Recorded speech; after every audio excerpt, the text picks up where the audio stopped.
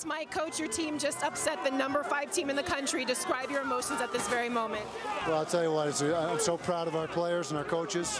Uh, our guys hung in there. They played the full 60 minutes.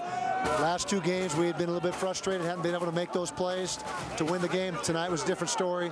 Made the plays when we had to, and great win for our program.